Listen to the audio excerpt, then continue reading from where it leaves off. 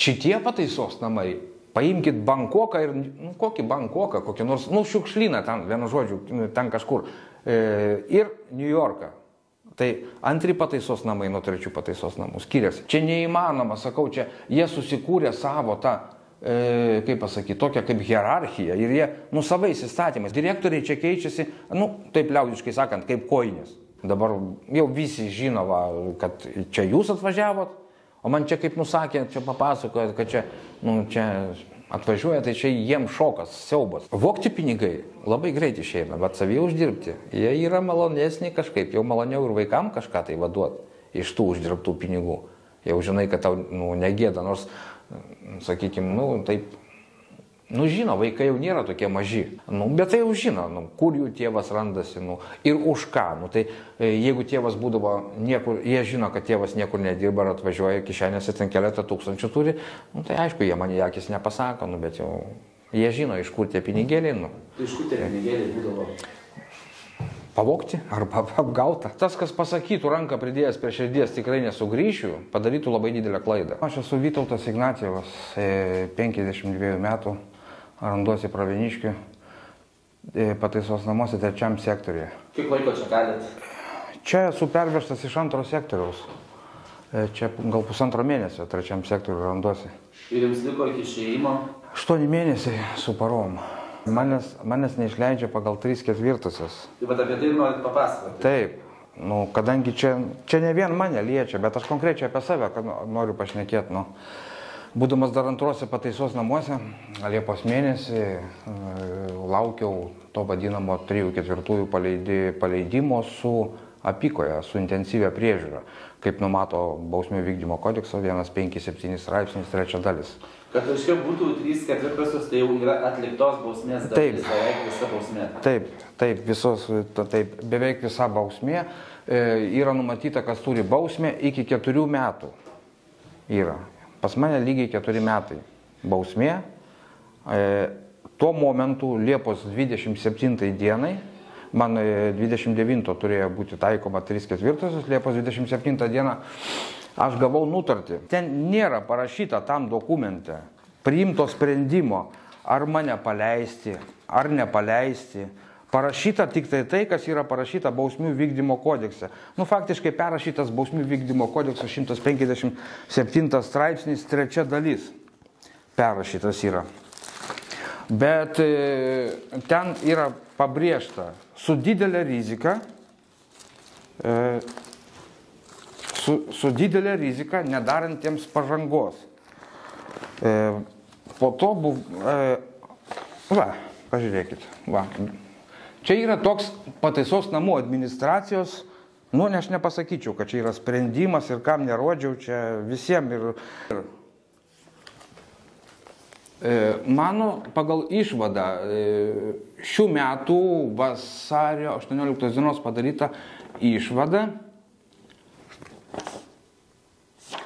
galit pasiskaityti, nu, aš auksinis žmogus. Viską darau, viską vykdau. Ir vienas vienintelis sakinys apačioje yra parašyta, kad aš nieko nedarau ir nieko nevykdau. Čia kaip tik pat tam sprendime rašoma, žodžiu, jeigu jūs neįsitrauksite į priemonės orientuotas į konkrečių nustatytų rizikos veiksnių valdymą, ir aktyviai jas nedalyvausite, dėdamas asmeninių pastangų, tad metai būsit paleistas. Tai dabar sakykit, tai kokiu ten tų... Į kokį tą valdymą konkrečių nustatytų nu, ten reikia, ten, nu, čia, čia pataisos namuose vykdomas ten visokios psichologinės programos, ten e, užimtumai visokiausi, viską. Aš viską dariau, viską lankiau, kaip yra vat, paminėta e, šito išvadoje, dar vieną turiu išvadą, kad aš lankiau ten tą pozityvaus užimtumo programas, e, e, pagal poreikius kreipiausi pas psichologus, e, nu, kadangi aš neturiu psichologinių problemų nei laisvė, nei čia, tai nu, aš kreipiuosi tada, kada man reikalinga. Jeigu man reikia, aš nesikreipiu pas psichologus, o jie per prievartą, per prievartą verčia eiti pas psichologus. Čia tipo tokios jų taisyklės, kaip jie taip sako. Nu, tai aš neįsivaizduoju, kaip galima prievartą žmogų versti daryti to, ko tu nenori. Nu, vertinamo išvada, pagal šitą išvadą, sakykime, dabar manęs nepaleido, būtent pagal šitą išvadą, kur aš charakterizuojamas esu teigiamas. Motivuodami tuom, kad aš esu, e, yra pas mane va čia va krūva popierių, atsakymai, vienintelis pavaduotojas Stankievičius į viską atsako. Vienintelis. Kiti specialistai, nu vienu žodžiu, neturi turbūt kompetencijos, aš nežinau, ar, e, nu, ar tam tikro įsilavinimo, kad galėtų tam tikras, sakykime, resocializacijos skyriaus specialistas galėtų spręsti resocializacijos problemas, tam e, saugumo valdymo skyriaus specialistas e, galėtų spręsti saugumo valdymo problemas. Čia taip nėra. Čia vienintelis pavaduotojas Arvidas Tankievičius, kuris deda parašą po to, kas yra jam paduodama. E, toliau. Būnant antruose pataisos namuose, visus atsakymus, visus iki vieno, e, sudarė e, Matulionytė, pavardė, Gintarė Matulionytė, resocializacijos skyriaus specialistė. Jis pagal tuos atsakymus, nu, jie man tai jie yra, vat, vat, jeigu pavartytumėt, jie yra šablonas. Į kompiuterį stovi šablonas, tik tai pa, pakeičia sprendimo tą esmę ir viskas. E, šitą. Jinai visą žinė, jinai viską žino. Man uždavus klausimą, kaip buvo kokiu pagrindu ir kodėl buvo paleisti su daug didesniais balais žmonės, jinai atsakymo neturėjo. O kai paklausėt, kodėl jūsų nepaleido, ką atsakė? Pasakė, kad aš nieko nevykdau. Nors išvadai parašyta, kad aš viską vykdavau, matot, aš jums daviau paskaityti, nu parašyta. Bet, bet toj išvadai nematau čia pradžios, bet aš matau taip pat, kad jūs nesuvokėt, kad e, aplamai turit problemų, nejaučiate kalties, Po to tam tikrų laipsnių gebate priimti kitų požiūrį, tačiau manote, kad dauguma pasaulyje mato taip kaip jis ir turi konkrečią nuomonę įvairiais klausimais, asmenybei trūksta lankstumo. Nesat savikritiškas. Žiūrėkit dabar. Čia va yra visi va, šito, čia va yra visi va šitos išvados lapai. E, specialistas, resocializacijos vyres, skiriaus vyresnysis specialistas Mindaugas Kaluževičius Čia jisai sudarė tą išvadą. Aš jo akise nematęs, kaip jisai apie mane gali spręsti kažką tai. Aš jo akise nematęs, čia yra parašyta dar, kad čia kažkokia tai Bernotė nedalyvavo, aš jų net akise nematęs, jie manęs net nebuvo įsikvietę. Nu. Ir nesuprantamas dalykas, kaip jie gali apie mane kažką tai tokio spręsti, jeigu jie su manim nėra net minutės bendravę. Gerai, tai po to, kai jūsų komisija nutarė nepaleisti, užduočių kažkokių gavot, kad, kad tas sprendimas būtų kitoks? Nu, man liepia e, toliau tą, nu, tą pozityvų užimtumą, kur, kur pas mane žymėta, kad aš ten lankau, darau, toliau man liepia vykdyti viskas. Nu, ir, ir paprasčiausia, man ant visko nusvyro rankos. Aš du metus stengiausi, dariau, E, aišku, nu, nežinau, jums turbūt reikia specialaus leidimo. E, antrose pataisos namuose buvau dešimtam būry. Prie manęs per aštuonis mėnesius pasikeitė gal penki ar keturi būrio viršininkai. Aišku, ten savo rankom puoždavom, ten tą būrį darydavom, aš pats asmeniškai esu iškašęs ten prūdą aplipdęs akmenukais, už ką man ten buvo paskatinimų prižadėta, mozaikas kolidoriuose lipdžiau, nu, kadangi aš prie meno, tai, nu, tai man ten nu, davė tokius uždavinius, nu, skatinsim, skatinsim, kaip keičiasi būrio viršininkas. Nu, aš nieko nežinau, aš nieko nemačiau. Nu, tai va, da... Negaudavo tų paskatinimų? Negaudavau paskatinimų, nebuvo niekur atžymima, kad aš kažkur tai kažką tai dariau. Nors pareigūnas kurio aš akise nematęs, nu, surašė pakankamai tokią, nu, kaip pasakyti, nu, kad aš ten kažkur tai e, lankiau, kažką tai dariau. Gerai, nu. praėjo po to sprendimo prieimimo keturi mėnesiai jau ir, ir, ir dabar jau kas toliau tada? Nu, kas, kas toliau? Buvo dabar taip. E, Iš karto po tų apskundimų aš paskelbiau, paskelbiau bado akciją, į kurią, aišku, čia niekas dėmesio nekreipia, nors tu gali numirti. Nu, pas mane atėjo vertintojų komisijos pirmininkė Lina Grybauskinė. Su trim dideliam žvaigždėm, nu, davusi priesaiką, įsilavinusi, nu, vienu žodžiu. Nu, ir jinai man pasakė, tada jau. Jau man nepasakė, kad aš kažko tai nelankiau, jinai man pasakė. Sako, pas tave netvarkinga gyvenama vieta susitvarky gyvenamą vietą ir eini namo. Laisvėje čia gyvenamoji vieta. Taip, laisvėje. Nu, nu gerai, tegul ten nebuvo ten deklaracijos, gerai, tiek to, sutinku. Vėlgi, po, buvo jinai pas mane atėjusi rūpjūčio ketvirtą ir... Ne, rūpjūčio antro atėjo. Ir rūpjūčio ketvirto jinai, kaip pareigūnė, ateina pas mane daryti pati asmeniškai vertinimo. Jau, va, čia jau atėjo jinai daryti vertinimo. Pas mane atsisėda ir valandą laiko su manim bendrauja. Buvo paklausta pas ją, kur yra vaizdo registratorius. Kadangi pareigūnam Taip yra privaloma. Taip. nu, privaloma vaizdo registratorius, va, čia man jie patys yra išdavę, va, vaizdo registratoriaus naudojimuose, o visos taisyklės, kad yra privaloma bendraujant. Jinai man motivuoja tuo dalyku, kad jinai uždavinėja asmeninius klausimus, bet aš prieš tai pasirašiau, kad sutinku atsakinėti į asmeninius klausimus. Ir aš neprivalau, man reikalingas specialus kalėjimų departamento direktoriaus leidimas, kad vertindama aš ateičiau su vaizdo registratoriumi. Gerai, jinai mane įvertino viską. Pas mane buvo 101 balas, pasidarė 110 balų. Dar labiau pavojinga. Dar, dar, dar blogesnis pasidariau. Nu. Tas, kas parašyta, yra irgi naujas vertinimas pas mane, tas, kas parašyta tam naujam vertinimui, iš vis tai netitinka tos tikrovės. Aš vieną kalbėjau, jinai kažką kitą surašė. Vien dėl to vertintojas ir buvo be vaizdo kameros, kad nebūtų daromas įrašas. Aš puikiai žinau, kad tas įrašas mano prašymu gali būti išsaugotas. Aš, aš prirašęs Aš čia esu prirašęs kokius, nežinau, nu va, čia va, galima, va, nuo pat pradžių. Va yra, va, surašyta, prašymai, skundai, va čia va, prašymai, va čia va tiek va prašymų skundų, va, yra prirašyta, į kuriuos aš gaunu standartinį pagal šabloną vieną atsakymą to pačio pavaduotojo. Nu, Nieko iš vis, sakau, nieko, nu nieko neįmanoma. Vat dabar individualią veiklą turiu ten, lankau užimtumus, viską, nu aš ten paaišau, darau visokius mesgų ten tiem, kaip jie vadinasi, tie vaikiukai mažiukai, ankstukai. Mes guošiam ten koinytės, viską, nu, viskas mano byloj, nu, surinkta, aš nežinau, čia, e, kadangi prasidėjo viskas čia biški dar anksčiau, čia vat yra e, pavaduotoja Čiurinskinė, e, 18 18, 18 dieną vasario man buvo komisija, pagal vieną trečią nepaleido ir aš pradėjau rašyti skundus ir paminėjau ją kaip resocializacijos skyriaus viršininkė.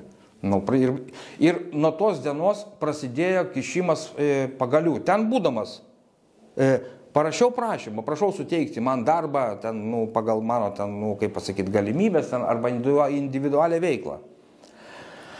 Individualiai veikla ten man nebuvo suteikta. Ten nebuvo suteikta.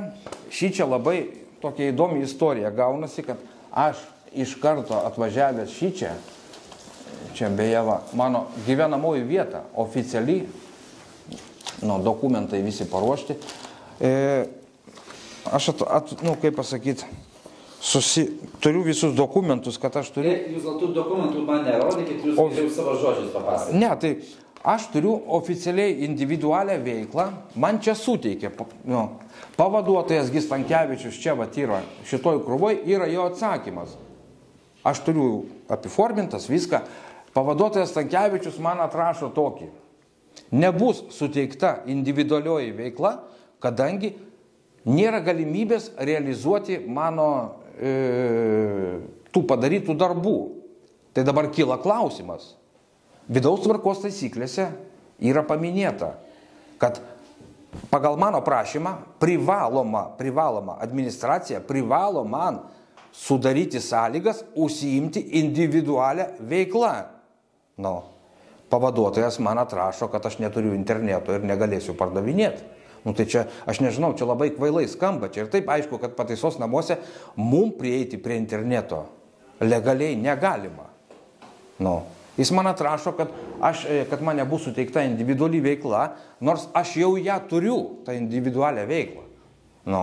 Ir vėlgi, sakau, yra kaišomi pagaliai į ratus. Būtent va dabar va čia, va, kai atvažiavau, man buvo pasakyta, na, mano, man buvo vėl pradėta ta 3-4 ta visa procedūra ir mano būrio viršininkė, e, vardas Jelena, pavardės neatsimenu, man, man užėjus į kabinetą, sakau, tai, o tai kaip sakau, čia dabar, sakau, su mano tom trim ketvirtosiam, kas nors juda.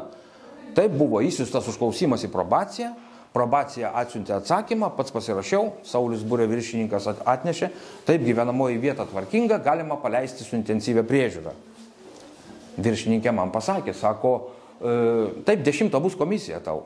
Lapkričio 10 bus komisija, kadangi esu čia skaitausi visur dokumentuose dirbantis, lankantis susijėmimus, nu tai laisviai pasakiau giminėm ten, draugam, kas iš Naujosios Zelandijos parskrydo, kas iš kur, visi laukia, nu jau čia šimtaprocentinė, viską vykdau, viską.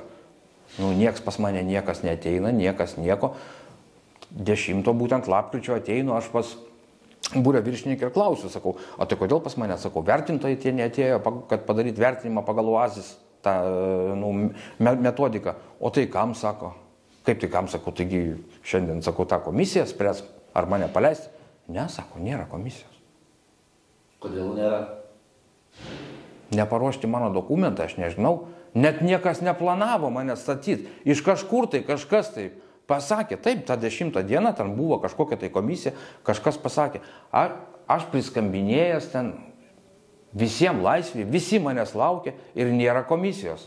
Nu, tai nuo tos dienos, nu ką, paimu, skelbiu bado akciją, aišku, nu, tai čia kaip visada, niekas nereaguoja, niekam neįdomu. Ką reiškia bado akcija? At, atsisakyti maisto.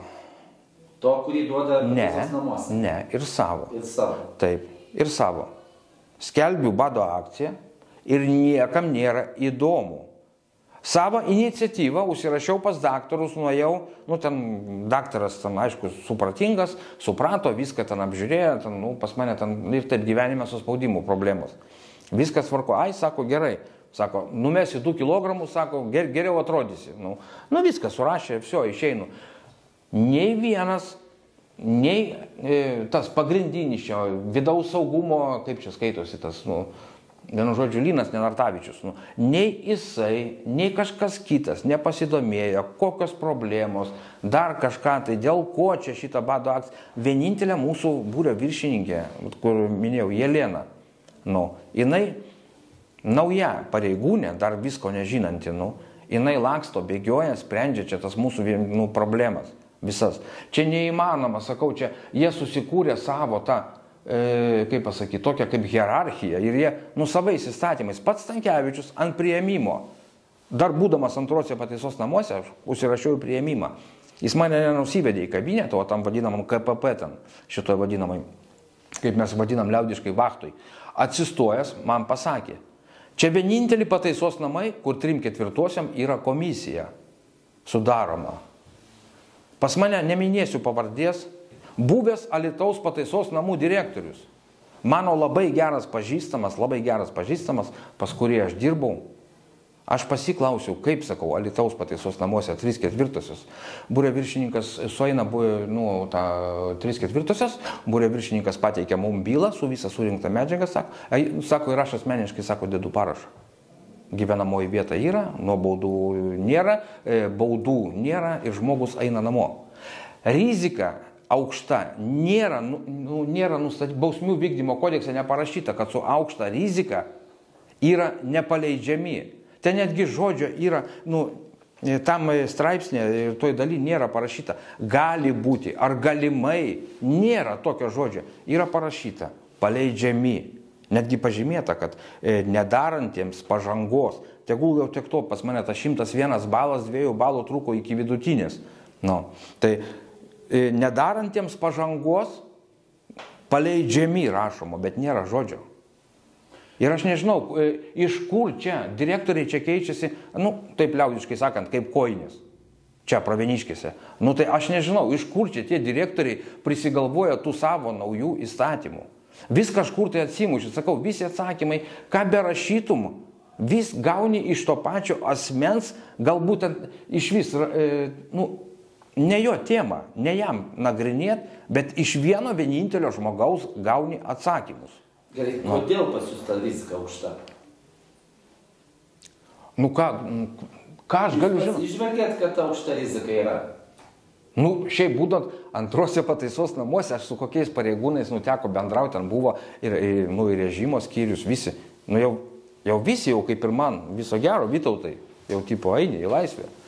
Nu, ateina e, antrų pataisos namų e, režimo skyriaus viršininkas, nu, saugumo valdymo skyriaus, jeigu taip, viršininkas, ateina pas būdinti ir sako, nu va, penktadienį sako, vienu žmogum būrys sumažės, sako, Ignatėvas eina į laisvę, būdintis jam sako, ne, sako, jo nepaleido, kaip nepaleido, sako. Nu, valdžia buvo, nu, tam tikrybė, ten, aišku, žemesnio rango pareigūnai buvo nusiteikę, kad aš jau einu į laisvę. Aš, aš baustas, taip, aš kažkada buvau baustas pas ten. Kada? Nu, dabar 19. baudų. De, ne, du metai jau. Nu, e, 19 metais Šiaulių tardymo izolatorių išvažiuodamas pamiršau priduoti rankšluošius. Mane nubaudė, gavau papeikimą. Panevežį irgi tas pats e, areštiniai. Išvažiuodamas nepridaviau rankšluošių. Nu, nubaudė, vėl gavau papeikimą.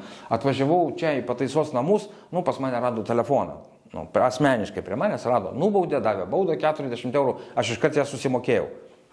E, prikaišo man kažkokius tai finansinius tuos, nevykdau finansinių įsipareigojimų. Čia teismo priteista ieškiniai priteista. Taip, taip, vienas, vienintelis ieškinys, kur buvo čia vykdomas raštas atėjęs, manęs niekas nesupažindino su juo, aš pats buvau auklėta vardu Gundinga, jinai man neoficialiai atnešė, čia yra pas mane vakarvoj. Ir va netgi va, kaip tik va po akim guli. Aš iš karto susimokėjau valstybei teismo išlaidas. Iš karto. Persivedžiau pinigus. Nu. Ir man dabar dar prikaišo, kad aš nevykdau kažkokių finansinių įsipareigojimų, tai aš dabar par, jiem parašiau prašymą, kad duokit man vardą, pavardę, gal kam ten reikia kokių pinigų ir sąskaitą pervesti, nu, kad aš nevykdau. Ne, nu tai taip yra, nu, man pastoviai prikaišo jie. Nu. Grįžkime prie jūsų bado akcijos. Paskelbėt, sakėt, ir kuo tai baigėsi. Dar jinai nesibaigė. Netgi dabar va, man čia ateinant manęs klausia, kažkoks viršininkas su trim didelim žvaigždėm dar badauja. Sakau, taip. Nu. Aš esu prabadavęs kažkada, tai dar anksčiau, 45 paras. Aišku, ten geriau kavą, arbatą, nu, ten vandenį tokį. Nu, esu prabadavęs, tai paskui iškrytęs ir mane išvežė į ligoninę. Nu. Buvo, nu, buvo. buvo. Nu. Nu, dabar kažkaip, šiandien tik tai kelinto čia pas mus. Devynios dienos praėjo. Nu, jo, tai va, e, dešimt, deš, dešimto, ne, vienuolikto padaviau prašymą, nu tai va, kadangi ta komisija neįvyko, tai aš padaviau vienuolikto prašymą, tas prašymas užregistruotas.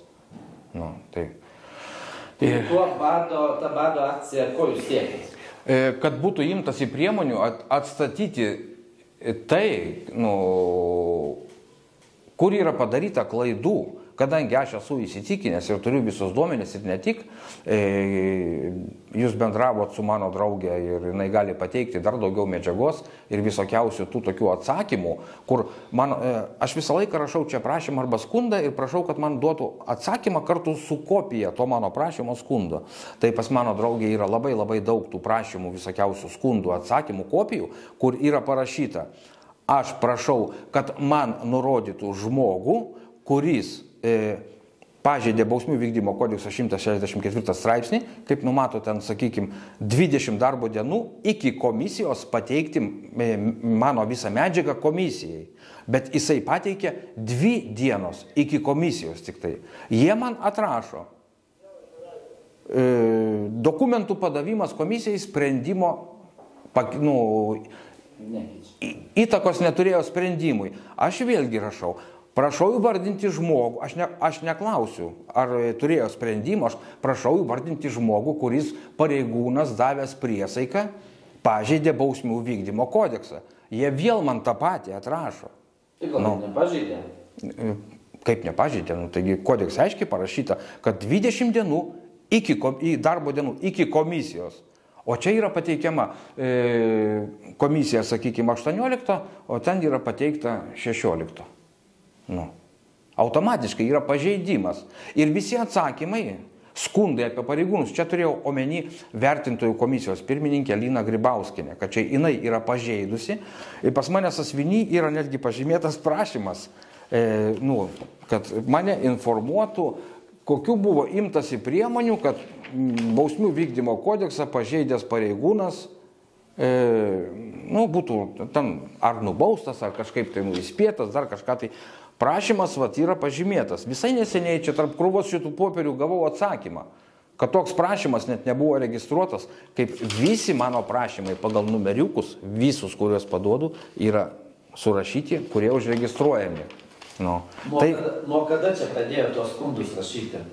E, skundus rašyti e, pradėjau nuo Liepos Būtent nuo tada, kada ne, neišleido į laisvę, kada jau buvo taip, taip, tada, būtent tada pradėjau aiškintis, kodėl čia kas čia prie ko čia, e, čia nu, kaž, kažką tai paleidžia, manęs nepaleidžia, e, nes aš kuo puikiausiai žinau, kokius e, žmonės paleido, netgi turiu pasižymėjęs su žymiai didesnė rizika, iš vis, kur jie iš vis nieko nedaro nieko sėdi, nu jie patys sako taip, sako, va sakyk, davė savo duomenys, viską, nu sakyk, kad mūsų va paleido, o tavęs nepaleidžia. Nu, tai čia, nes jeigu čia niekas neviešins, tai čia ir toliau viskas taip ir suksis. Nes šitai komisijai, nu šitą komisiją, nu, dabar va, kur čia yra, kur direktorius, jinai yra nelegali, čia bet kas gali pasakyti. Nėra ne vienuose pataisos namuose trijų ketvirtųjų komisijos. Tuo labiau, tuo labiau, kad mane svarsto tie žmonės, kurie su manim net, e, nu, net nebuvo bendravę iš vis. Jie svarsto, jiem paduoda popierius, kažkokius tai, kurie netitinka tikrovės ir jie mane svarsta. Tas pats, va, kaip paimkim dabar, vakar buvau atėjęs pas saugumo valdymo skyriaus viršininką Lyną Nenartavičių šias spręsti problemos. Nu, aš, aš galvoju, kad čia man daro tokį psichologinį spaudimą. Mano vakar buvo parduotuvės diena. Pas mane pinigai yra, rodo, yra pinigai. Nenartavičius sako, nesiprekinsi. Šiandien vėl. Kodėl? Pinigai turi pragulėti kažkiek tai dienų, kad leistų apsiprekinti. Tai pagulėti tie pinigai gali ir pas mano artimuosius, nebūtinai čia sąskaitoje. Aš turiu pinigų ir manęs neleidžia prekintis. Visas būris apsiprekina, o Ignatėvas apsiprekinti negali. Saugumo valdymo skyriaus viršininkas pasakė, kad ne ir viskas. Buhalterės turi kažkokią tai savo ten susidariusios, kur įstatymais niekom neparemta. Šiandien ryte atsikėliau 5 val. nedegiau šviesos prie jungto televizoriaus, skaičiau visas vidaus e, tvarkos taisyklės, perskaičiau.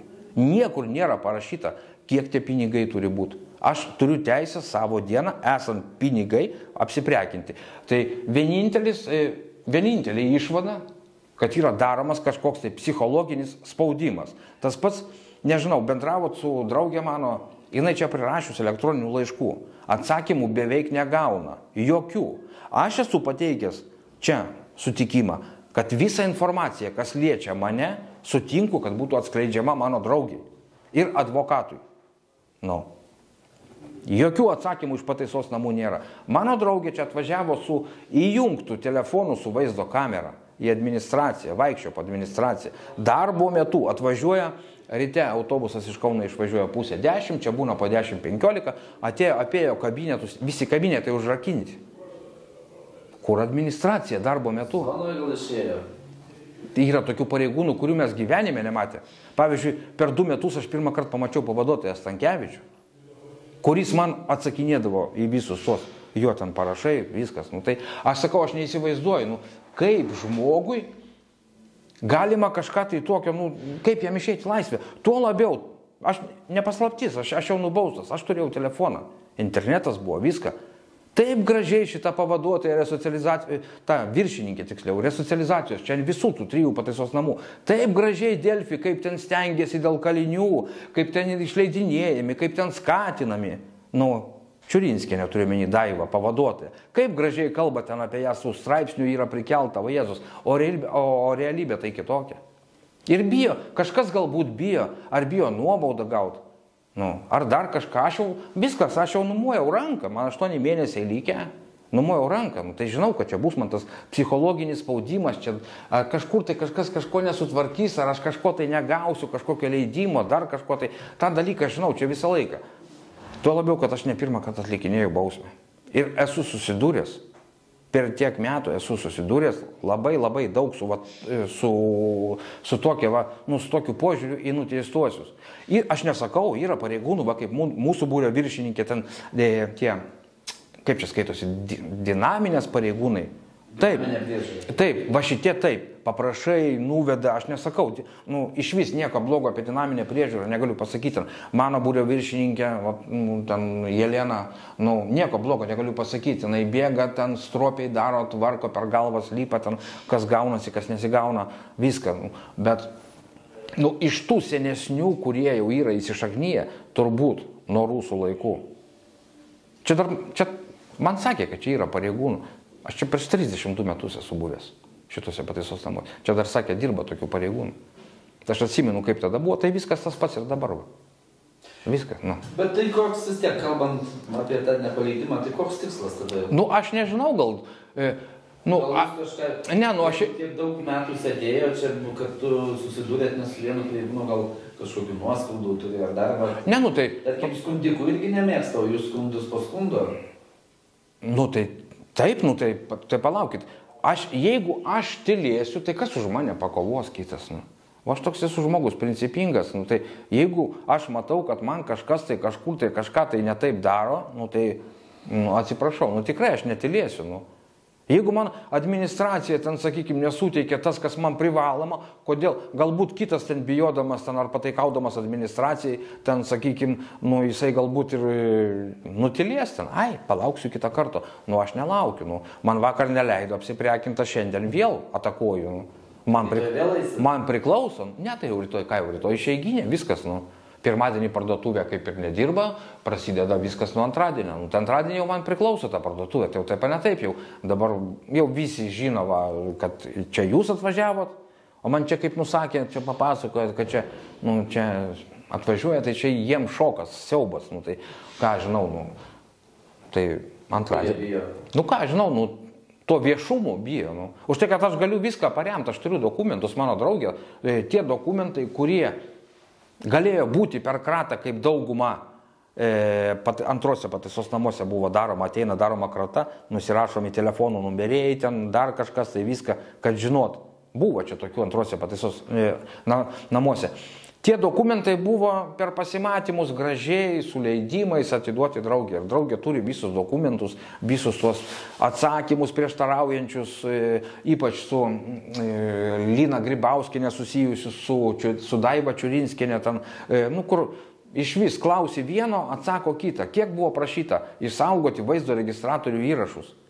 Nėra nei vieno saugoto. Ir, nu, ap- meluoja pareigūnai, paskelbiau bado akciją. Nu, ten tokia būrė viršininkė buvo Laura Vitaitė. Čia jinai tipo su manim bendrauja. Jinai man tiesiai išviesiai pasakė, mano darbas toks.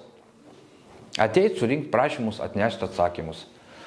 Būdintis pakviečia man direktorių. Ateina direktorius, sėdžiu su direktoriu, sakau, galit man pasakyti būrė viršininko pareigas. Na, būrė viršininkas, direktorius man kažkur 15 minučių dėstė, ką privalo daryti būrė viršininkas. Bet negi va ta Laura Vitaitė, jinai būtinai va, e, turi savo, nu, tą, kaip pasakyti, tokį nusistatymą, kad jinai surenka prašymus ir atneša atsakymus. Jei daugiau niekas, nei pakalbėti su nuteistuoju, nieko. Paprašai įjungti vaizdo registratorių, tai dar, oho, kaip pasišiaušia. Nu, irgi. Nu. Ir aš nesuprantu, sakau, va, ir dabar va vėl bandau, nu man tik tai vėl žada. Vakar pradėjom kalbėti apie parduotuvę ir Valinas Nenartavičius, e, saugumo valdymo skyrių, iš karto perventė ant 3-4. Jau šiandien mano auklita buvo ant kilimo, nežinau, ką ten jie kalbėjo. Nu, iškart buvo pakviesta auklita, nu viską. Nu, ir sakau, nu, aš nesuprantu. Visi sako, tu nieko nedarai. Kaip aš nedarau, aš turiu va, visus išduotus tuos, e, tuos liu, liudijimus, tuos visus, viską turiu. Visur pažymėta, kad aš kažką tai darau, dirbu, lankau viską. Nu, aš per prievartą, aš neturiu psichologinių problemų, per prievartą turiu eiti bendrauti su psichologu. Aš nuėjęs, aš nežinau, ką jam pasakyti. Aš tiesiai išviesiai sakau, man liepia ateiti ten režimo viršininkas, man liepia ateiti tas ir tas. Nu. Ir aš sėdžiu prieš jas įsėdęs. Nu. Ir jinai manęs paklausė, nu aš sakau, man viskas gerai, aš neturiu psichologinių problemų. Bet per prievartą esu verčiamas eiti ten, kaž, nu, ten, kur man nereikia iš tikrųjų eiti. Nu, tai aš, sakykime, dabar oficialiai skaitausi kaip dirbantis, turiu individualią veiklą. Man dabar sako, eik į užsiemimus. Automatiškai. Aš nutraukiu darbą, einu į kažkokius užsiemimus. Vėlgi pažeidimas. Tai kaip aš dabar dirbantis galiu eiti kažkur tai į kažkokius tai užsiemimus. Nu, aš einu, lankau, nu. Bet kažkada tai man pasakys, nu, tai tu įsiemi individualią veiklą, bet tai tu nieko nedarai, tu eini kažkur tai ten dar ir, ir pasakys, žinau. Nu. Ir tai individuali veikla dabar. Ką, Ką jūs dabar darot? Kodėl jūs nusprendėte ją užsiminėti? Užsiminėt? Aš ir anksčiau užsiminėdavau antrose pataisos namuose, ten tokia, neatsimenu pavardės, bet buvo tokia nu, moteris, Juratė, jinai tom užsimdavo. Aš ten paaišydavau, ten matydavau per televizorių, kaip jinai ten, nu, ten kai rodydavo ten kalėdinės visokias, da, ten su, tom, su tais paveikslais, paveiksliukais visokiausiais, ką aš ten darydavau, nu, ten jinai ten aiškina, kad čia nuteistųjų, ten nu, darbai, ten pa, vežami ten į senelių namus į klaipėdą, ten, ten, ten, va taip, va. Nu, vis... Kaip piešia. Taip, nu, ten paaišydavau, čia, dabar, nu ką, paaišau, mesgu. Ir kur dedat visą tai, jeigu e... negalite realizuoti? Aš atiduodu, e, kaip jinai skaitosi dabar, nu, užim, užimtumo tą nu, viršininkė, kaip jinai vadovė, tai nu, yra Vaida vardas, pavardės. Ne... Jinai jo, jinai ten va, informavo mane taip, sako, va, važiuojam pas tos vaikiukus, vežam koinės. Dabar renka tos paveiksliukus, ten temų visokiausių, ten dabar yra, nu, artėja kalėdos, dabar tų kalėdinių, pas mane vandens spintutės ten pridėta yra, nu, jau pradėti ten dar nedabaigti, nu, šitą kalėdą. Nu, tai kalėdam kažkur irgi, gal kokį, kažkokius tai ten tos vaikiukus ten globos namuose, kažkur tai ten sveikins, nu, kaž, kažkur tai realizuoja, kad, kad e, nu, Sau tai tikrai žinau, kad nepasijama, nes jeigu aš pats noriu, aš nupaišau, paduodu. Bet kad, kad veža, realizuoja, nes nu, paskui laikui bėgant pamatai per televizorių, kad jie kažkur... Jo, nu, kažkam tai atiteko, nu, aš mesgu tas koinės, ten, sakykime, nu, ten, tam vaikiukui, nu, jis ankstukas, ten, sakykime, nu, nu, nei, ten, nei jisai supranta, ką ten jam ant tos kojos uždėjo, nu, bet aš, va, nu, ten humoro formai, ten, kai visi ten mėgstat, nu, man tai jau tos mados nelabai ten tie Nike, Puma, Adidas, nu, aš ant koinės užmėsgu Puma, parašau, va, sakykime, nu, kadangi pagal akis atitinka man. Nu, tai, nu, taip, dėl, dėl juoko, nu, paprasčiausia, nu, bet jau žinau, kad va, kažkokiam vaikiukui, kuris ten tam inkubatoriui, nežinau, ten šalta, šilta, nežinau, ten, nu, nesusidūręs, gal ten jam tam kojam šalta, ar ką, ten, nu, jam užmauna tas mano mėgstas koinės, nu, tai man malonu, aišku, nu, tai kaip, nu, pats turiu du vaikus, nu, tai nežinau, kas čia yra. Nu. Čia va, šitie pataisos namai, nors čia viena įstaiga praviniškėsi, bet čia, sakykime, kaip paimkite Bankoką ir, nu, kokį Bankoką, kokį nors, nu, šiukšlyną ten, vienu žodžiu, ten kažkur, e, ir New Yorką. Tai antri pataisos namai nuo trečių pataisos namų skiriasi. Mes čia tik atvažiavom, čia mums iš karto ką norit, darbas, viskas. O, čia Niujorkas. Jo, čia va, viskas trečiose pataisos namuose. Nu, antrose to dalyko nebuvo, ten para, rašai prašymą, atsakymą gauni, e, kad e, nėra galimybės. Ir prikaišo, kodėl tu nedirbi. Eini ant komisijos, vat, kad ir ta 3-4, kodėl tu nedirbi. 19 metų. Ne, 20, meluoju, 21 metų sausio mėnesį parašiau mūsų amatais apiegos vienas. Parašiau prašymą, kad man suteiktų darbą. Iki šiol nesu gavęs atsakymą. Tai bankrutuoja. Tai no. tai ne, nu tai koks skirtumas, nu tai. Bet tai, bet tai palaukit, žiūrėkit, jau kiek laiko, beveik du metai, atsakymo negaunu, viens nuo kito persiuntinėja, va taip va. Nu. Parašiau kalėjimų departamentui skundą. Ne, kad jie kažką tai atsakytų. Kalėjimų departamentas persiuntė mūsų amatai. Jau žinodami, kad jie bankrutuoja, jie persiuntė mūsų amatai, kad man atsakytų. Ir vėlgi terminai visi praėjo, aš jokių atsakymų negaunu. Nu. Ir dar įdomiausia, Komisija, nu, tiek to, padarė komisiją, trijų ketvirtųjų, manęs nepaleido. Galiu skusti, yra parašyta, čia lapo yra parašyta, kad galiu skusti, va, kalėjimų departamentui yra parašyta, kad galiu skusti. Mhm. Nu, taip, apskundžiau kalėjimų departamentui. Laukiu atsakymą, nu ką, laukiu, laukiu, nu, nu nėra to atsakymo, skambinu kalėjimų departamentų, telefonu ten galas 03, atrodo. Ne. E, šitą skambino atsiliepia toks Miroslavs Stankievičius pareigūnas, kuris atsakingas už tų laiškų įsiuntimą. Kaip negavot, sako. Įsiunčiau tada ir tada, į kompiuterį pasižiūrėjo, įsiunčiau tada ir tada, praveniškėse gauta tada ir tada.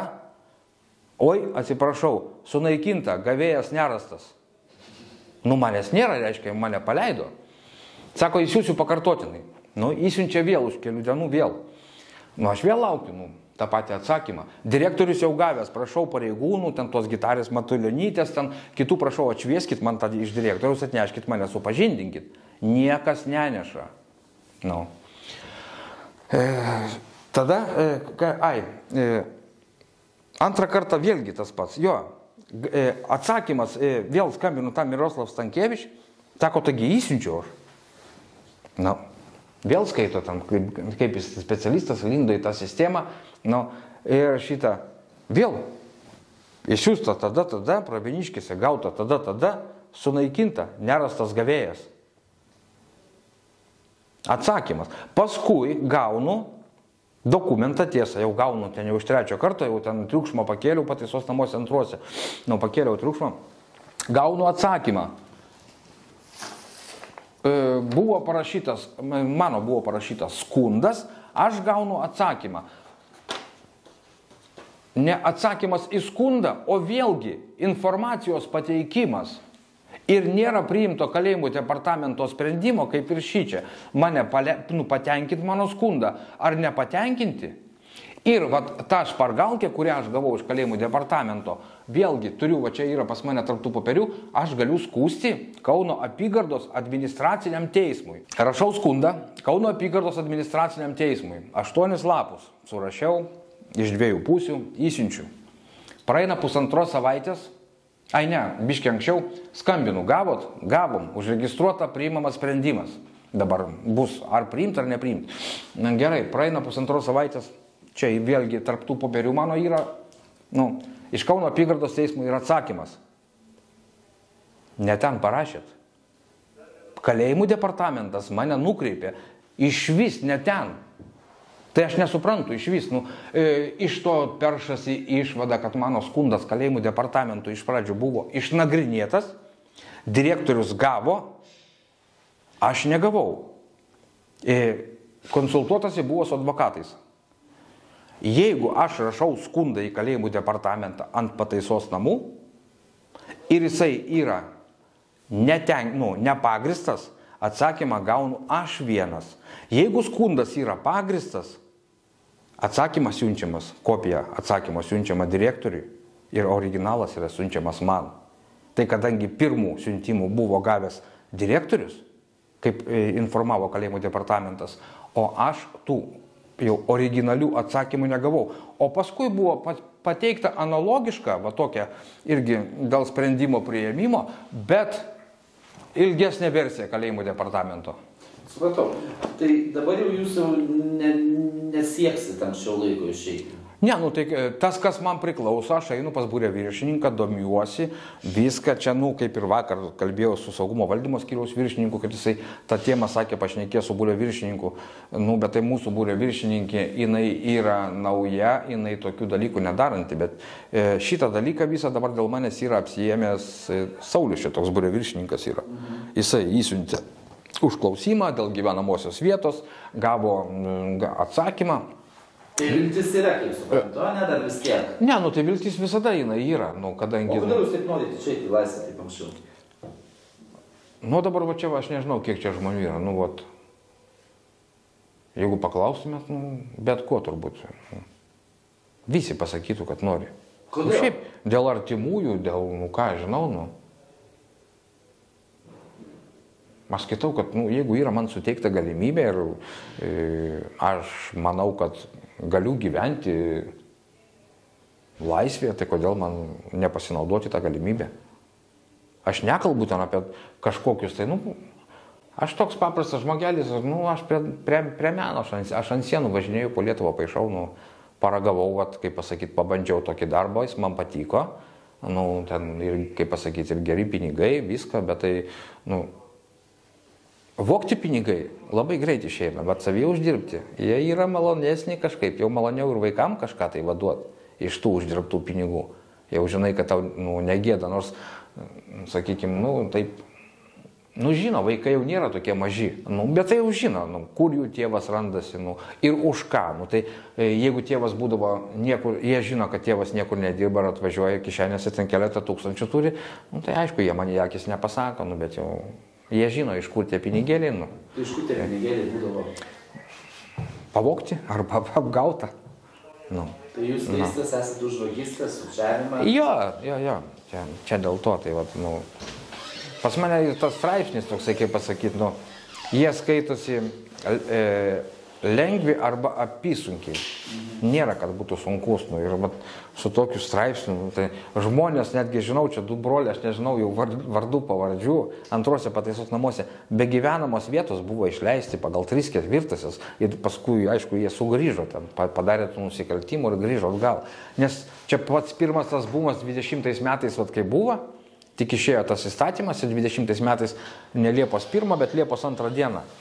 Vien tik tai kiek man žinoma, 34 žmonės iškart išleido, ne jokių komisijų, nieko nebuvo. Iš vis. Suėjo, eini, atitinki, nėra nuobaudų, baudų neturi, eini, eini. Niekas nežiūrėjo, ar tu kažką lankai, ar tu kažką tai darai, dar kažką tai tokio. Paskui jau e, pasigirdo tos kalbos. To nepaleido. Kodėl? Kažkokių siemimų nelankė. Nu, dar ten kažką tai tokio. Nu, o, e, nu, yra tokių žmonių, sakykime, ar ten jų tikėjimas, ar dar kažkas tai, nu, neleidžia jiem eiti ten į tokius susijėmimus, kur ten yra diskutuojama apie kažką tai. Gal, nu, sako, eik lankyk anoniminius alkoholikus. Nu. Nu, koks aš alkoholikas, nu, ką man ten eit lankyti, jeigu man to nereikia. Arba pagal religinius įsitikinimus aš negaliu ten eit, nu, iš vis. Eik, kodėl tu į bažnyčią? Netgi žinau, ne, Ne, turbūt nepasėmė. Pas draugiai. Netgi yra e, žmogu, yra nu, oficialus popieris, dėl ko žmogaus neišleido. Dėl to, kad jisai netikintis yra. Dėl to neišleido į laisvę. Yra oficialus atsakymas su, su visais žmogaus duomenim. Pas mano draugė susiskambins, jis jums pateiks ant tų medžiagų, kokiu norit. Netgi tokius popierius, vat, nu, netgi tokios nesąmonės yra daromas. Nu. Dabar va vėl kreipiausi čia atvažiavęs dėl tų trijų ketvirtųjų, nu čia vieną kartą mane apgavo. Dabar vėl, nu daroma. Šiandien vėl man buvo taip kažkaip netikėtai pateikta tokia informacija, kad visur viskas, Vytautai, visur viskas dėl tavęs yra daroma duoti užklausimai. Nu kokie užklausimai? Gyvenama vieta, viskas, užklausimas vienintelis. Čia viskas ir taip akivaizdu. Knygutė, tų psichologų išvados, ten viskas, nudirbantis, viską esu. Nu. Ir Nesuprantu. Vėl Jie gal bijo, kad išėjęs į laisvę padarysit naują nusikaltimą ir nusiausit žmonės. Ne, nu tai čia, ne, tai čia jau ne jiems spręs, ne pataisos namų pareigūnam. Čia yra probacijos tarnybos, va šitą 3 ketvirtosius su intensyvia priežiūra. Čia yra žmogus atiduodamas į probacijos tarnybą ir jeigu ant lapo yra parašyta, kad gali būti paleidžiamas, reiškia probacijos tarnyba prisijama atsakomybė, kad jie galės ten sužiūrėti, o jeigu ir negalės, galų gale atgal gražins. Tam yra suteikta teisė. Kiekvienam nuteistajam, kuris ten pagal tam tikrą bausmių vykdymo kodeksą, pagal baudžiamą kodeksą atitinka visą šitą procedūrą, nu, ir, nu, kaip pasakyti, nu, teisė, nu, tai kodėl man ją nepasinaudot? Ką man čia atlikinėti bausmę, jeigu aš galiu būti su draugė, ten su vaikais, nu, galiu būti laisvėje. Nu, tuo labiau, kad ta apykoje, jinai labai labai daug ką daro, žinau, bendrauju su žmonėm, nu, kurie išėjo į laisvę, nu, ir su tom apykojam, nu, tai nu, tikrai ten sustabdo. Kad ir pradžiai ten tas terminas yra trim mėnesiam, ten paskui gali pratesti. Tikrai priboja ten tuos visus va tokius. Nu. Manot, nenusikalstumą? Manau, kad ne. Tuo, tuo labiau, kad buvau pajutęs to uždirbtų pinigų skonį, tų savo rankom, uždirbtų, nors ir nelegaliai. Nu.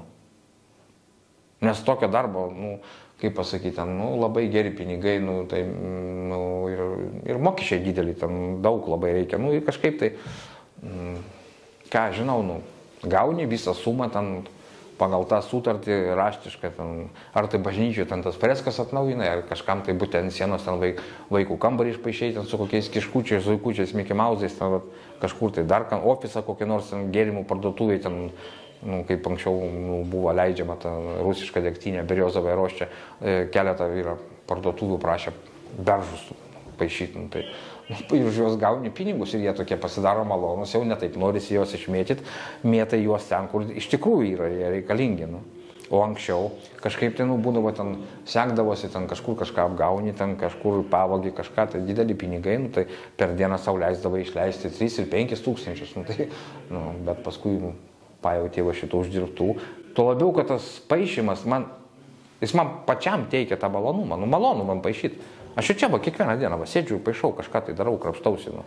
Jeigu, jeigu ne administracija, tai iš nuteistųjų, kas paprašė, ten, ten mamai, kokie mačiutė, sesiai, žmonai, ten vaikui, nu aš paimu kažką, va, sėdžiu, paaišau, man patinka. O jeigu dar už tai man kažką tai duoda, nu tai, nu kodėl gilėtų.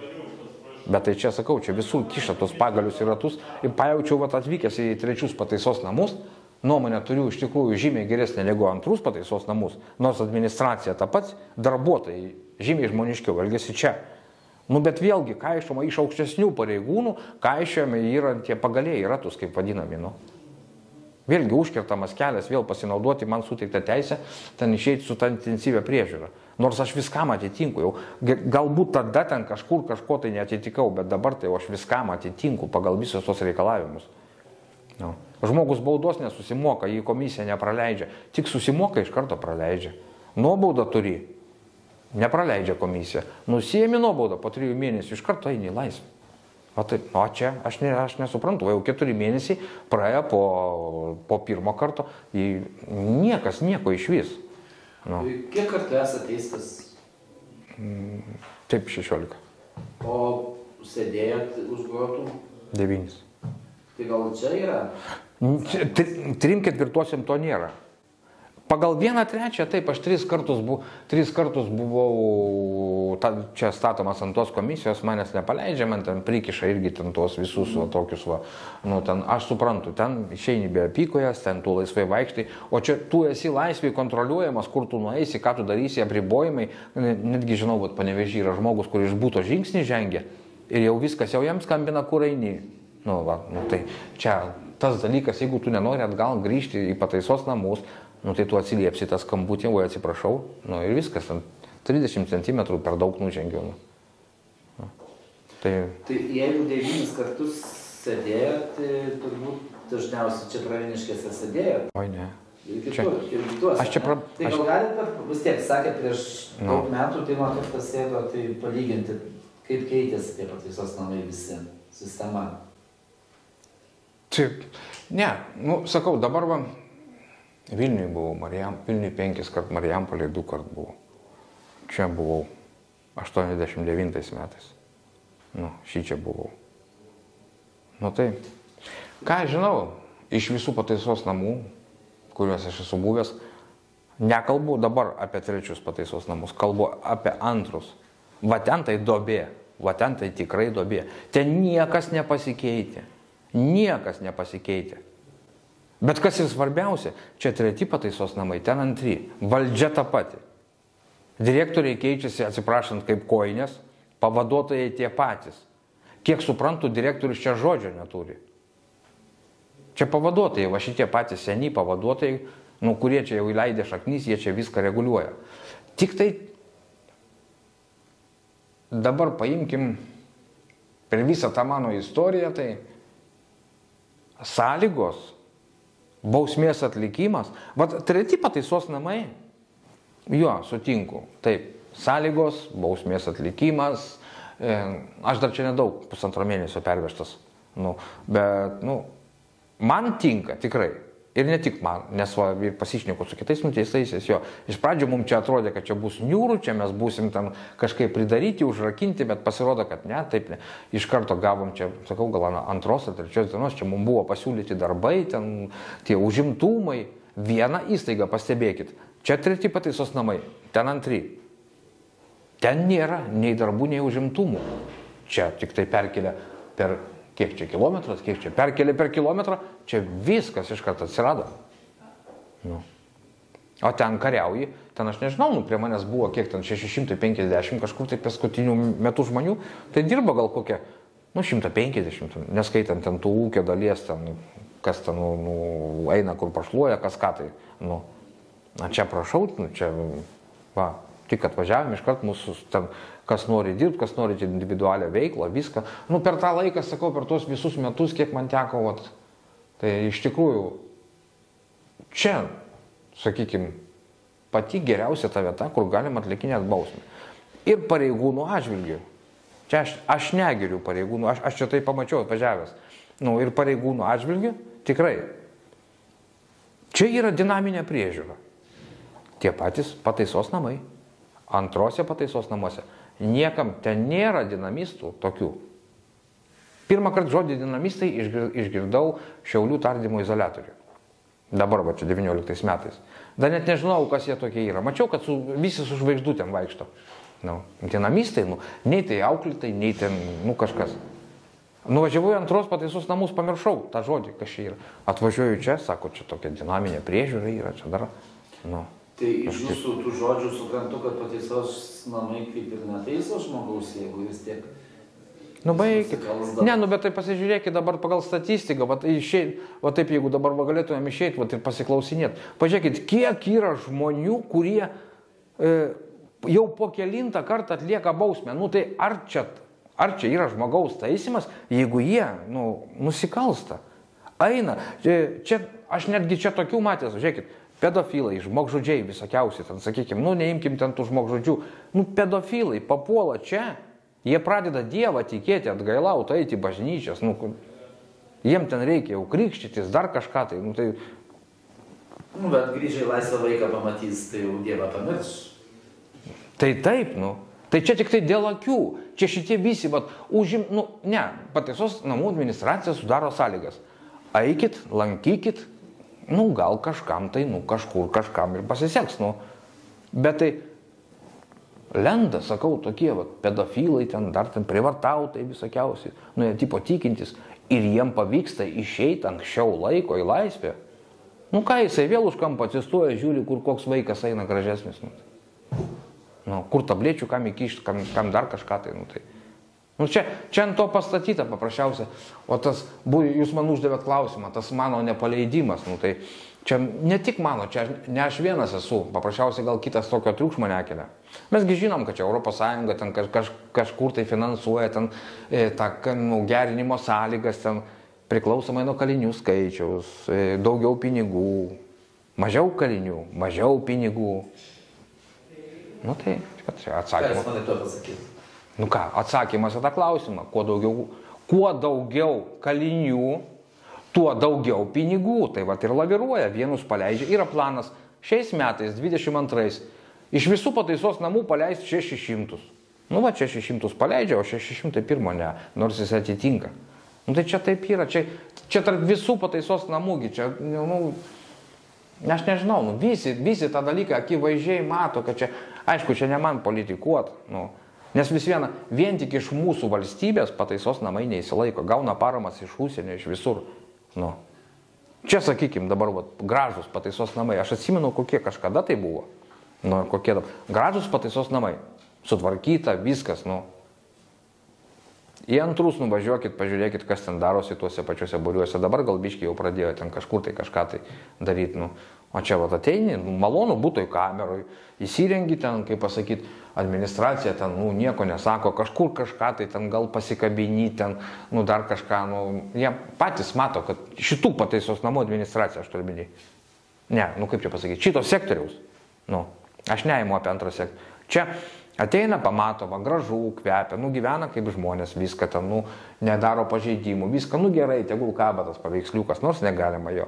Nu, tegul kaba tas paveiksliukas, ten tiek to, nu, ten žalos jisai nepadaro, nu, bet tai, sakau, čia viskas, nu, kažkaip įdomiai, vat, pareigūnai, kurie neturi tų direktorių, pavaduotojų, ten skyriaus viršininkų, nu, jie žmonės kaip žmonės.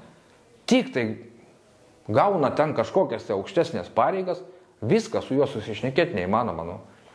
Jam aiškini vieną, jisai sako, sako kad turi būti, nu pabandyk tu pakelt balsą, ar pabandyk tu jam kažką tai pasakyti, jis tave paims ir o į, į baudos izolatorių, ar dar, ar dar perkels, sakykime, į kitą kažkur tai būrį, nors tu esi vienoje vietoje susigyvenęs, jie tave paims, perkels į kitą būrį. Nu.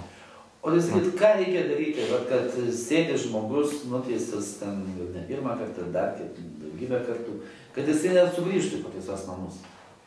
Tai, ne, tai e, ką, ką daryti? Ne, ko nepadarė vat, jums, kad vat, jūs Nereikia- nereikia sudaryti tų tokių dirbtinų tų iliuzijų, tų tokių programų, kurios iš tikrųjų niekur jos nėra, nu, laisvėje nėra e, taikomos, niekur jos neegzistuoja. Žmogus, jeigu norės, jisai pasikeis. Nenorės, jisai nepasikeis. Ir tos programos tikrai nepadės. Nu, čia va dabar pirmą kartą per visą šį laikotarpį vienam nuteistajam leido vesti užsiemimus.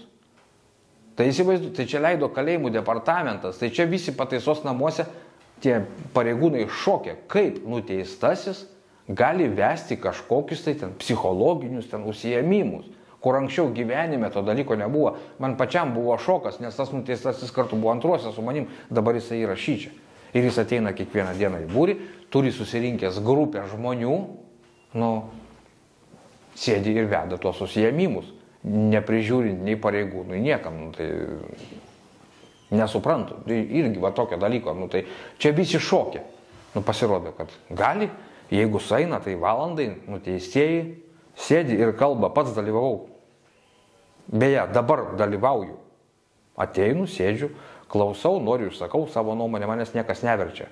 Niekas nei išjokia tos nuomonės, nieko, sėdi visi kalba bendrai apie kažką tai, nu, temą pasirenka vat, nu, ir, ap, ir, ap, ir aptarinėja. Nu, pasirodo, kad nu, galima tokie dalykai, kur anksčiau buvo, nu, iš vis, aš nežinau, ta žodis toleruojami turbūt netinka, nu, nepropaguojami tokie dalykai, draudžiami, ten sambūris nuteistųjų kažkaip tai, nu. Mhm. Tai čia vienas iš tų vat, pozityvių užimtumo priemonių, kurias aš dabar lankau. Nu, tai čia va, viena iš tų va yra. Nu. Bet vat, klausiant, jūs atsakėt, žmogus, jeigu nenori, jisai nepasikeis. Taip, Bet, jeigu jis nenori. Tai, pavyzdžiui, vat, jūsų atveju, kodėl jūs nepasikeisdavot, jūs kodėl nenorėdavo pasikeisti? Aš anksčiau ir... Argi vat, vis tiek, čiagi blogai aš, sakot? Ne, taip, aš anksčiau visą laiką tvirtinau. Ir čia pradžioj bausmės, vat, irgi tvirtinau.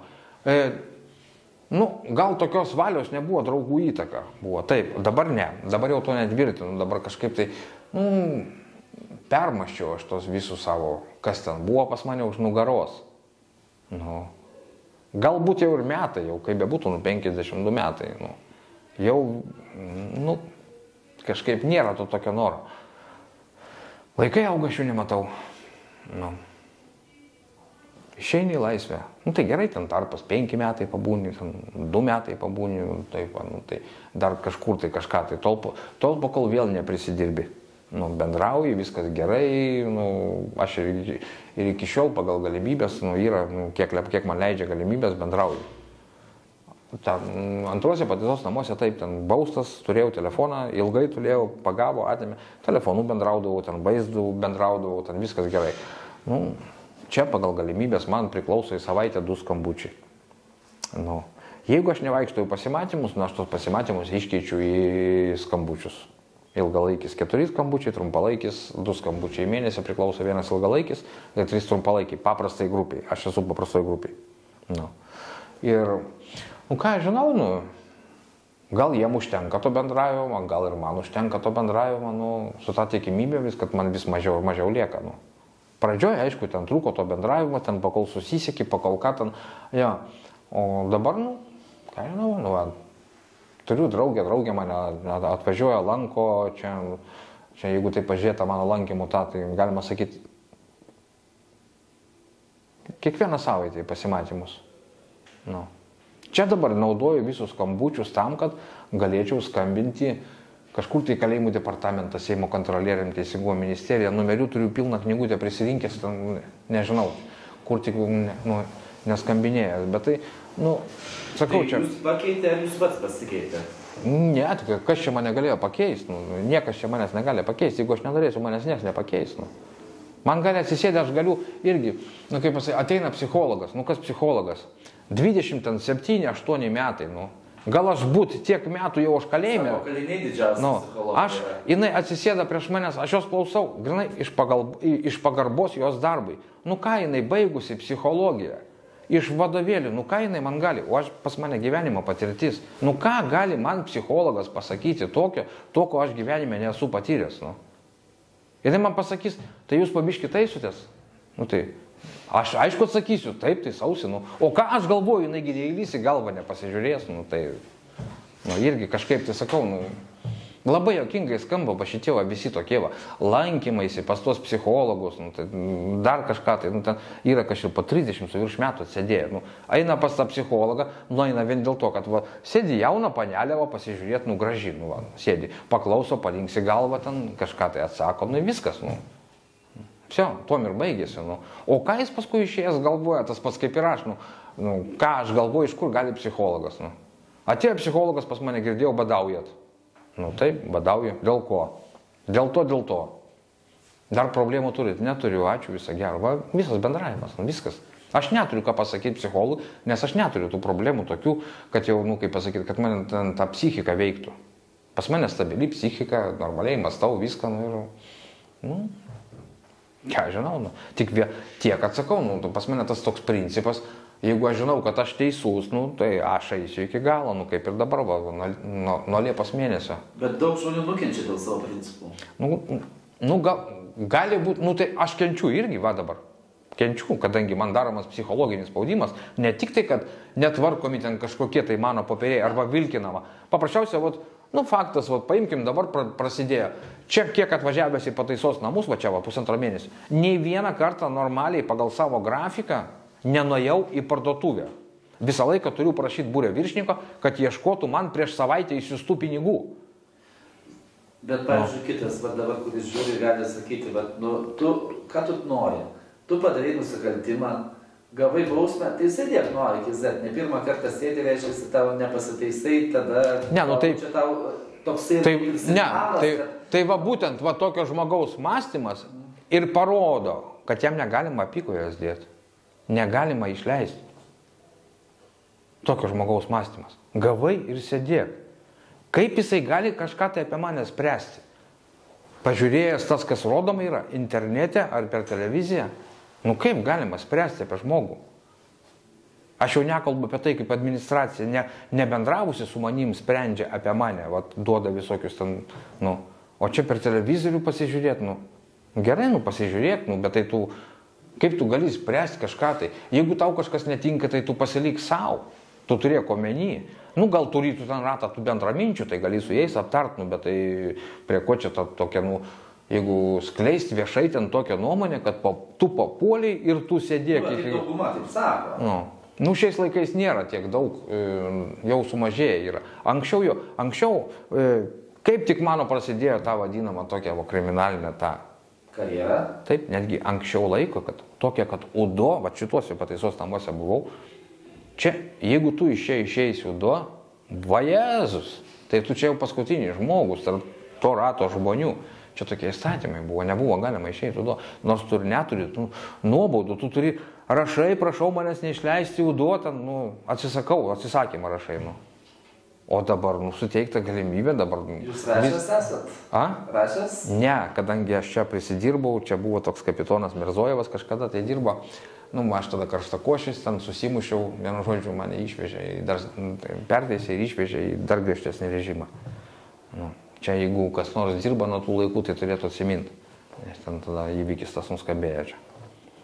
Nu, mane išvežė į uždarą režimą, tai nu, man neteko susidūrti. O paskui jau 92 metais atvažiavau į Vilniaus pataisos namus. Jau viskas pabiški pradėjo keistis. Jau viskas, jau, jau nebuvo tų tokių griežtų tokių įstatymų. Nors ir taip palyginus pagal viską, čia buvo bendras režimas, o jau antrą kartą nuvažiavau aš į griežtą režimą. Du, skir du skirtingi pataisos namai buvo. O dabar, kai tie režimai visi, nu kaip pasakyti, sumaišyti, nu nebėra tų režimų, nu, tai dabar viskas lengvai, viskas, va, ką nori, tą daryk. Dabar žmogus dar nežino, ar jam ar jį suims, ar sankciją duos jam, nu, teismas trim mėnesiam ar dviem. Jisai jau galvoja, kaip jam udo išeiti. Dar nežino, ar jį nuteis. Jis jau galvoja, o skaičiuoja, gausiu, a, galiu gauti tiek, tai va po tiek galiu išeiti viena trečioji, a, tada man čia pusė sueina, a va čia trys ketvirtosios sueina. Nu, dabar taip yra. Nu. Nu, keičiasi žmonės, keičiasi laik. Nu, viskas keičiasi po biškinu. Tai ir, ir mąstymas žmonių aišku, kad keičiasi. Ir aš manau, kad tai gerai, jeigu jisai padaręs nusikaltimą, pagautas, jau pradeda galvoti, kaip čia jam greičiau išeiti, kaip čia ką. O kad greičiau išeiti, reikia gerai elgtis, reikia kažką tai daryti. Na, aš manau, kad jau keičiasi tas požiūris žmonių. O jūs galvojat, kaip greičiau irgi išeiti dabar. Taip. Bet ar vat, galite ranką prie širdies pridėjęs pasakyti, kad nesugrįšit? E, žinot, aš jums pasakysiu iš savo patirties, tas, kas pasakytų ranką pridėjęs prie širdies tikrai nesugrįšiu, padarytų labai didelę klaidą sugrįžtų. Už, ne, aš galiu pasakyti, už kriminalinį nusikaltimą galbūt ne.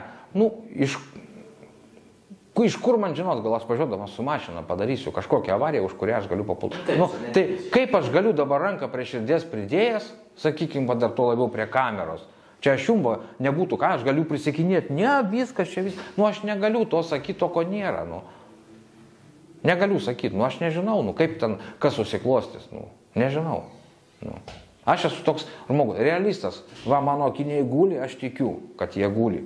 Man, kad sako, kad kažkur tai kažkas tai bus, aš niekada netikiu. Nu. Aš į bažnyčią nevaikštau, aš neneigiu, kad yra Dievas ar kad jo nėra. Ne, ne. Bet aš realistas, va, turiu dokumentą, patvirtintas, turiu. Neturiu, viskas. Nu. Tai aš negaliu nieko sakyti, kad aš nenusikalsiu ar nenusižengsiu, aš tokio dalyko ne, nu, ne, nepasakysiu, ką man meluot kažkam tai ir savo pačiam, nu, tai ką man meluot, nu, tai kažkaip tai būtų, nu tikrai, 52 metų vyras, suprantu, ten gal jaunam kitaip, gal, gal kitaip pasakyčiau, dabar jau, nu. Va tokių metų jau nesinorėtų grįžti, turbūt. Nu, šiaip. Iki pensijos paskui sėdėti. Ne, šiaip tikrai ne, nesinori, tikrai. Nu. Ga, gal, čia yra, gal čia ir yra viena iš tų priežasčių, dėl ko dabar va, bandau čia, taip liaudiškai tariant, čia mūsų tai žodžiais, nu, pasispardytis, kad būčiau anksčiau laiko paleistas, kad mane reikėtų ten tų dar 8 mėnesių atlikinėti tą bausmę. Nu, kažkaip tai, nu, galbūt dėl to. Gal. Dar, nu, negalėčiau pasakyti dabar, kodėl aš čia va dabar va. Čia nėra tas principas prieš administraciją, nėra. Paprasčiausia, nu, man suteikta tokia galimybė ir aš skaitau, kad aš esu vertas jos, tai kodėl man ją nepasinaudot, nu. Aš nieko nelegalaus nedarau, rašydamas skundus, prašymus ten, reikalaudamas, kad aš būčiau ten pristatytas komisija ar kad ten būtų kažkokie dokumentai, nieko legala, nu, nelegalaus nedarau. Ką dariau, tas viskas liko prieš bausmės pradžią. Ten, ten buvo nelegalų. Čia aš nieko dabar nedarau nelegalaus. Nu, prašau tik tai to, kas man priklauso. Tas pats kaip yra iš mūsų reikalaujama. Nedaryti nuobaudų. Nepažeisti režimą, nu tai gerai, aš nepažeidinėjau, nu tai viskas, nu tai kiek galima, jeigu tu aš turiu galimybę, e, yra sudarytos sąlygos nepažeidžiant tą, tą režimą, man atsidurt laisvėje pas artimuosius, ten pas vaikus anksčiau laiko, nu tai kodėl man ją nepasinaudot? Nu. Ir aš manau, kad aš esu teisus, tik paprasčiausia yra nesuprantamas dalykas, vat, kodėl yra taikomi dvigubi standartai visiems nutei, nu, nuteistiesiams. Vienus paleidžia, kitus nepaleidžia. Vieni, ten, kad ir tau ezis rizika, ten, nu dabar tų balų nėra, bet tai rašo aukšta vidutinė, ten, nu labai aukšta, kokia ten, nežinau, žema, nu tai, sakykime, ten šimtas vienas, nu viskas jau ten skaitosi aukšta rizika, nu dviejų balų trūko, nu tai aš nežinau, ką ten man, man reikėjo padaryti, kad man ten būtų 99 balai. Ir jo, aš tada jau būčiau, aš milijardą procentų būčiau išėjęs, jeigu 99 balai būtų. Nu. Kažkaip tai nežinau. Nu. Ir sakykime, dabar ta gyvenamoji vieta mano, vat, nu, Viena trečioji, trys komisijos buvo man, manęs nepaleido, niekam nekliuvo mano gyvenamoji vieta, pirminė gyvenamoji vieta. Nu, niekam nekliuvo, nei komisijai, niekam. Yra pas mane popieriai, viskas parašyta. Ne, nekliuvo, tik tai, e, kad aš kažkur tai kažko tai nelankau ir nedarau. Ir kad ten, nu, ten teistumai viskas nu, prikišta. Nu, dabar va šita komisija irgi gyvenamoji vieta nekliuvo, bet tik tai kai pakėliau triukšmą, nu, kad pas mane vertintoja Alina Gribauskinė atėjo be vaizdo kameros, ten tos, nu, be įrašinėjimo, kad gali būti sufabrikuotas mano vertinimas, ten, sakykime, kad man balai sukylo, e, ten gyvenamoji vieta buvo, turiu netgi tas lentelės padaryta su tą pačią gyvenamą vietą, tai nu, ten, ten žymiai mažiau, o paskui būtent po tų visų skundų atsirado jau 9 balai pakelta. Nu, tai, ir aš nesuprantu, va, va, e, Administracijos požiūrio, sako, davęs priesaiką pareigūnas, davęs priesaiką, sažiningas, nu, bet tai, nu, jeigu tu davėjai tą priesaiką, jeigu tu esi sažiningas, tai tu išlik iki galo sažiningas, dirbk tą savo darbą taip, kaip priklauso. Nu, vat, vienintelį kartą e, vertintojai, aš matau, kaip pas kitus nuteistuosius ateina vertintojai, 15 minučių pasėdi, išeina. Tai vienintelį kartą pas mane atėjo vertintojų komisijos pirmininkė valandą laiko Nu, mane vertino, aš ten turėjau specialiai dar pasirašyti į klausimus, dar kažką tai pats ten atžymė turėjau, ten tuos visus. Nu, o šiaip ateina vertintojas. Nu, kur gyvensi, kas kaip, kur, ką mastai, atsistoja, viskas išeina. Ir ateina apklausė vienas, kelis klausimus, penki, šešis užduoda, O vertinimą daro visai kiti, kurie net su tavimi net nebendravo, tavęs akise nematė. Nu, tai aš nesuprantu, kaip galima nu, apie žmogų kažką tai spręsti. Jo nemačius ir su juo nebendravus, aš nesuprantu va tokio dalyko. Nu, aš mūsų būrio viršininkė, kiekvieną dieną, su savo čia būrio viršininkė, aš kiekvieną dieną, jeigu neskundą atnešu, tai aš taip, nors, nu, taip pakalbu. Nu. Tai aš matau, kad žmogus suinteresuotas man padėti, jinai daro tai, na, nu, galbūt tai, ko jinai dar nemoka daryti, bet jinai stengiasi, aš matau, kad stengiasi nu, daryti. Čia kažkur kažkas tai prisižada man, oi, čia sutvarkysiu, va popierius, čia viskas bus tvarkoj. Aš to pareigūno nematau pusę mėnesio, nu, nu tai atsiprašau, nu, tai čia apie ką mes kalbam, nu, tai sakau, yra tam tikras e, tarp nuteistųjų irgi tam. Kažkas tai išeina iš karto į tą laisvę, paleidžia, nors ten tuo, tą riziką, nežinau už kokius nuopelnus, aišku, išeina, nu, nes Viskam yra priežastys, be priežasties nebūna, nei vieno įvykio. Nu, tai kažkokia tai priežastys yra, reiškia. Galbūt kažkur kažkas tai kažką tai nuoja ten, ar paskundė, gal kas kur narkotikų turi, gal dar ko, nu, jam užsidėjo pliusiukas, nu, tai gali būti. Aš kai nieko bendro neturiu ten su tais visais tokiais, nu tai aš neinu per tuos kabinetus, einu nebent jeigu tik tai mane iškviečia, nu, savo norą aš neinu, nelakstau, nu, man tai, o gal čia reikia pradėti lakstyti per tos kabinetus, atsibosti tom dinaminiai priežiūrai, kad čia mane vedžiotų, ten, taip kaip pas mus čia sako, pas operus, pas režimą, nu, gal tada, nu, pliusų prisirinksiu, gal tada mane paleis, ką aš žinau, nu, o kol kas tai aš nematau čia jokių perspektyvų.